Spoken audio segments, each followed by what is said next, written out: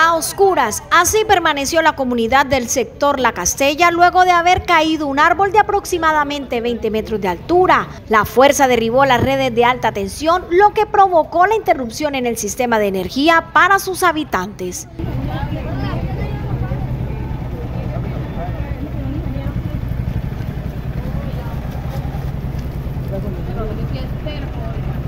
Cuidado, una, una,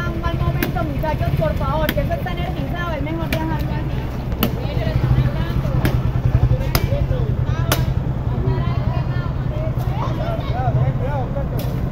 Enfurecidos se tomaron la vía principal del kilómetro 2 sobre la vía Yuma. Decidieron bloquear el paso vehicular por algunas horas, ya que sus primeras hipótesis argumentaron que una empresa que adelanta trabajos en el sector sería la responsable de la caída del árbol, al parecer por los constantes movimientos de tierra y el paso de la maquinaria amarilla que se encuentra trabajando en dicho terreno.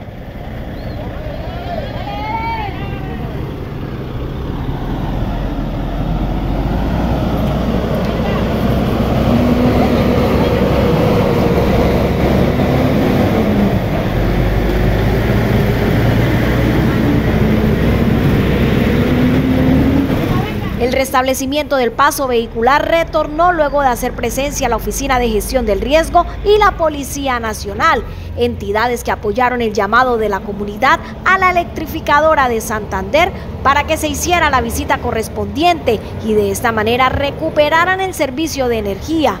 De esta manera han pedido a las autoridades locales que puedan realizar controles a estas obras para que eviten atentar contra la tranquilidad de estas comunidades que no se oponen al desarrollo de la ciudad.